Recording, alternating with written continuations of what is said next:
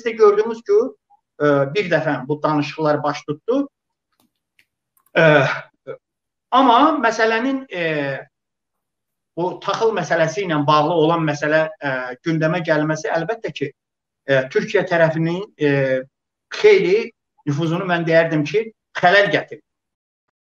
Rusiya Ukraynadan taxıl oğurlayır və bu taxılı satdığı ölkələrin arasında qardaş Türkiyə də yer alır. Bu isə Türkiyənin nüfuzuna xələl gətirir. Bu sözləri Kanal 13-ün efirində yayımlanan Açıq Söz proqramında yayıma Kiyevdən birbaşa bağlantı ilə qoşulan soydaşımız Nəsimi rayonunun sabiq icra başçısı Əli Quliyev deyib. Daha ətraflı onun öz dilindən eşidək.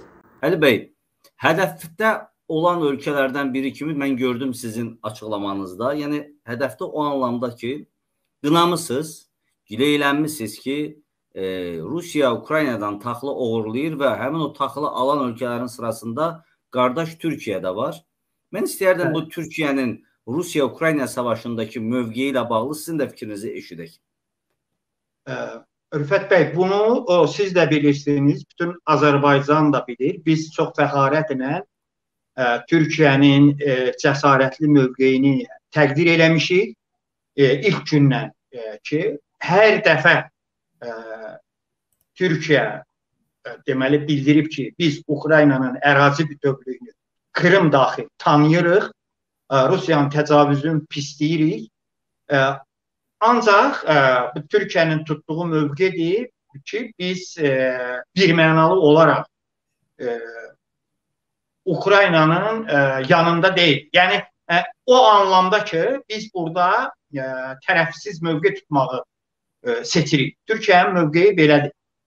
E, və bu bu da hardasa başa düşülən başa düşüləndir ona görə ki, buna müəyyən mənada Qərbdə, e, Amerikada çox e, normal yanaşırdı ki, heç olmasa bir ölkə olsun ki, Türkiyə kimi nüfuzlu bir ölkə yeri gələndə diplomatik e, danışıqları davam elətdirilsin. Və siz də gördünüz ki, e, bir dəfə bu danışıqlar baş tutdu.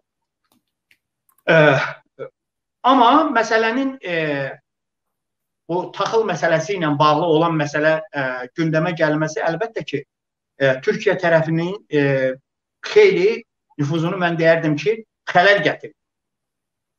İndi elə bir vəziyyətdir ki, indi heç kim e, hər şey Sputnikinə görülür, şəffaf şəkildə hər şey nəzarət altındadır e, və bu məlumatların e, hamısını bütün dünya anındaca yayılır. E, Xersondan və e, Ukraynanın e, taxıl ehtiyatlarının olduğu bir çox yerlərdən Ruslar ə, taxılı oğurlayıblar və onun müəyyən ölkələrə, tutaq ki, o ölkələr Misirdir, Hindistandır, e, Eritreyadır, Suriyadır və onların içində ə, Türkiyə də var. Və bu məsələ əlbəttə ki, e, çox xoşa gələn bir hal deyil. Yenə deyirəm, baxmayaraq ki, məsələn, Türkiyə e, anında boğazlardan e, Rusların e, gəmi, hərbi gəmilərini buraxmadı. İndi də iki Rusiyanın hərbi gəmisi oradadır və bu Rusiyanı çox pis duruma saldı və onu da nəzərə alsaq ki, Moskva e, kreyseri vurulandan sonra e, bu hərbi gəmilərin bura gəlməsi həyati əhəmiyyət kəsb edir ki, burada ə, e, raket sistemləri var və ə, e, həmin raket sistemi Qara dənizdə olan bütövlükdə raket sistemini təxminən 70-ə çatdırır. Ə, e, Moskva kreyserində təxminən ə, 16-ya yaxın bu raket sistemi, o bateriya vurulub sıradan çıxarılmışdır.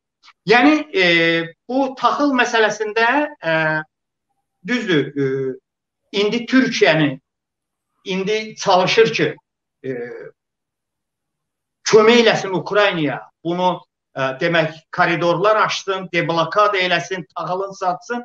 Amma fakt faktlığında qalır ki, e, biz də istəməzdik belə bir halın olması. E, belə amma belə bir məsələnin e, artıq danışılır. Düzdür, Ukrayna hökuməti rəsmi şəkildə bunu e, Türkiyə ilə münasibətlərinə xələl gəlməməsi üçün hələ demir. Amma bir, bir sıra kütləvi informasiya vasitələrində son dərəcə etibarlı e, kütləvi informasiya vasitələrində bu məsələlər gedir.